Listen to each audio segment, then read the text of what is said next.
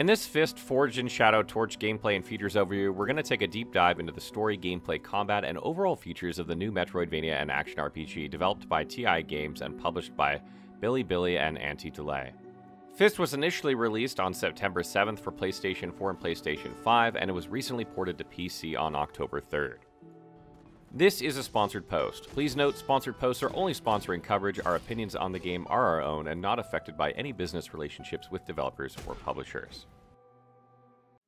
Fist Forged in Shadow Torch is a Metroidvania and action RPG with a signature diesel punk style that brings Asian inspired landscapes to life. What's fascinating about the level design is how well it is presented, where you get a heightened sense of the entire environment as well as exciting 2D gameplay and vivid 3D backgrounds. Fist is quite similar to other Metroidvanias like Hollow Knight and Salt and Sanctuary when it comes to exploration and traversal. Exploration encourages you to revisit certain areas of the map in order to learn more about the story and to receive unique rewards. You gain access to these when you unlock specific abilities, weapons, and keys. Meanwhile, it's important to learn the different techniques associated with traversal given how difficult the platforming aspect of the game can be later on. In terms of combat, however, Fist sets itself apart from these games because of how it greatly emphasizes stacking skill combos in order to effectively defeat enemies. As such, you can expect to experience action packed and fast paced encounters all throughout the game. It isn't Souls like either in the sense that you don't lose money such as Geo and Hollow Knight when you die. Instead, you simply respawn from a checkpoint, but your enemies also re-emerge with you. Fistfall is a classless system where you create your character's build based on the skills you choose to unlock. It also features three unique weapons, intricate and interconnected locations, numerous abilities, and devices that help you survive in combat. Fist is set in Torch City and Western Range, which are populated with animals such as rabbits, bears, rats, to name a few. These locations are enormous since there are so many areas to explore over and over again, like the underwater base, prisons, sewers, and mines. It also houses some of the most charming anthropomorphic residents known as Furtisans as they strive to live peacefully in spite of the problems brought about by the invasion of the Legion Iron Dogs.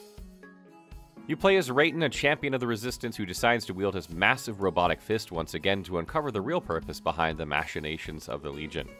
Your first mission is to rescue your friend Urso, who has been wrongfully imprisoned by this group. The game involves a story of betrayal, power, and struggle between machines and Furtisans that shows the impact of greed and slavery in society. It's not as in depth as other RPGs in terms of making decisions to alter the outcome of certain events, but the narrative unfolds in a clear and interesting manner which entices you to thoroughly explore the entire map to understand what is happening. Although I would have preferred the characters to be more fleshed out, I enjoyed my interactions with them. Due to this, I established connections and an affinity for these animals, especially for Rayton, that make me concerned about what will happen next. Fist doesn't include companions, so you're left to your own devices even if you encounter and meet new friends along the way. Fist introduces the main characters and then immediately gets right into the action where you make do with the first weapon you have, which is the Mechanical Fist. You explore Old Town while punching machines left and right, and platforming doesn't come until a few more minutes into the game. Fist's combat starts off easy because there's no strict stamina bar to manage, no money to lose when you die, and your health bar is essentially above average. Your enemies aren't formidable just yet. But when you reach other locations where you meet the rest of the game's enemies, like the samurai and mechs with shields, you begin to feel the difficulty kick in. Although it seems like you're destabilizing these machines, it will surprise you that oftentimes this isn't the case. I've experienced several encounters, particularly in boss fights, where I'd continuously hit them thinking that they just didn't have enough power to retaliate, which is far from the truth. Positioning and environmental awareness are of prime importance in any type of encounter, because it's quite easy to die in later areas if you're not careful. Another good strategy is to prioritize fighting machines that are situated above you. From the top, they perform range damage with their laser guns, which provides a distinct advantage. Once you've dealt with them, you can focus on the others in your same level.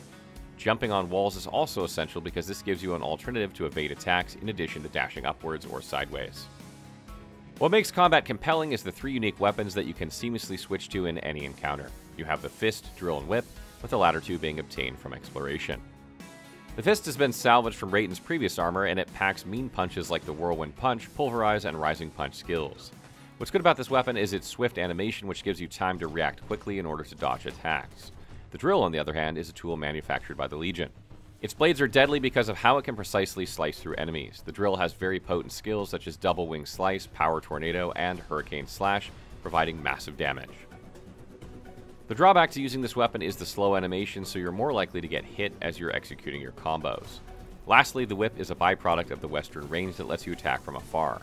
This is charged with electricity to throw enemies into the air or to create a huge ball of energy with the Power Storm skill. What I love about these weapons is their versatility because they don't just deal damage, but they're also used for platforming. The drill allows you to maneuver underwater and glide in the air, whereas the whip lets you hold on to an anchoring point like a blue robot to swing from one section to the next if jumping on walls is not an option. To gain access to these skills and to restore your HP, you're going to need to approach save points in the form of terminals. This is the only way to unlock and check said skills. As such, it feels limiting at times, especially when you need to refer back to them in order to review respective combos. You don't have to unlock everything since you're limited by the number of coins you have and the data disks you acquire. There's certainly no shortage of moves to learn, so try out as much as you can to defeat machines as efficiently as possible. You can focus on specializing with one weapon first by unlocking most of the skills in a specific path. For instance, you're able to upgrade to Pile Driver once you've obtained Power Punch. Also remember that going to these terminals and backtracking your way to different places respawns enemies. You can opt to ignore them, but you'll miss out on coins to access more moves. Additionally, you can also replenish your HP, SP, and EP here. SP is used for highly advanced skills such as Rising Punch and is indicated in the terminal itself. It acts like your stamina bar that's helpful in boss encounters. However, it's also possible to beat bosses without making use of it. Meanwhile, EP is the compound that fuels devices, namely the Carrot Juice, which restores HP, and Shock Baton to parry attacks to render targets vulnerable for a few seconds. To increase these stats, you need to obtain their three corresponding materials. For example, to raise your EP by one bar, you have to search for three EP compounds. Lastly, you also have multiple abilities such as wall jump and propeller for combat and platforming. You unlock all of these when you discover points of interest on the map. When it comes to exploration and quest, Fist wholeheartedly delivers. The vastest and intricate map coupled with stunning 3D backgrounds makes the journey and tough platforming worth it. As you unlock more areas, the puzzles become more challenging, though difficulty progression is linear, so you have enough time to learn how to navigate each place with care. Like other Metroidvanias, you'll be traversing locations more than once when you acquire additional abilities. Quests are also straight to the point in the sense that you're instructed to go from one place to the next by the animals that you meet. However, this doesn't dull the overall experience of watching the story unfold and figuring out how things work. Moreover, another reason to fully explore the map is to get collectibles such as posters to customize the color of your weapons. Next up is Fist audio in terms of the sound effects, music, and voiceovers. All three of these aspects are done wonderfully, from composer Kei Bo's highly diverse score to the median impactful sound effects of each action. Every combo is hardwired to show and indicate how painful they are, from your drill's ability to shred to your fist smashing power.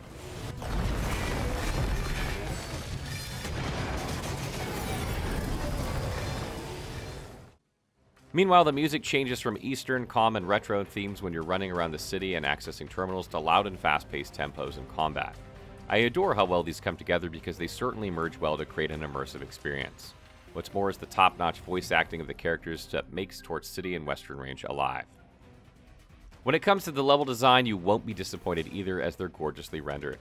Every environment is distinct, which makes exploration that much more enjoyable. You'll also notice how elaborate the textures of Shanghai landscapes are, as well as the rest of the locations hidden underneath it. It's so easy to get lost in Fist because there's several things going on in the background depending on where you are. Places don't feel empty since there's almost always a puzzle waiting for you to solve. This is also brought about by the availability of ray tracing to further highlight the level of detail of each art piece. In fact, the game somewhat reminds me of the Dieselpunk theme and physical rendering done in The Ascent because of how realistic the design is, so much so that they're beautifully discernible. Additionally, there's also the NVIDIA DLSS and NVIDIA Reflex to further improve the game's performance and responsiveness on PC. Final thoughts. Fist Forged in Shadow Torch is a 2.5D Metroidvania and action RPG where evasion and skills matter to survive and defeat machines in combat.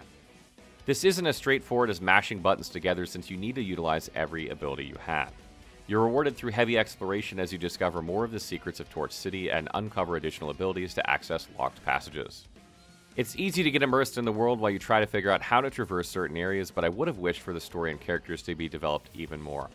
It would also be cool if the amount of customization is expanded together with the number of unique weapons you're able to wield. If you're looking for a fun Metroidvania with arcade style combat, a fantastic exploration system, and phenomenal audio and level design, then you may want to check out Fist Forged in Shadow Torch. It's already available on PC, PlayStation 4, and PlayStation 5, and costs $29.99 USD. You can use the link below to support the channel. What do you guys think of our overview? Will you be purchasing Fist anytime soon? Let us know in the comments below.